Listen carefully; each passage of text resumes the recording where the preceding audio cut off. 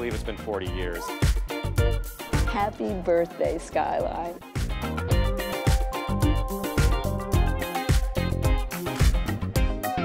Just getting started.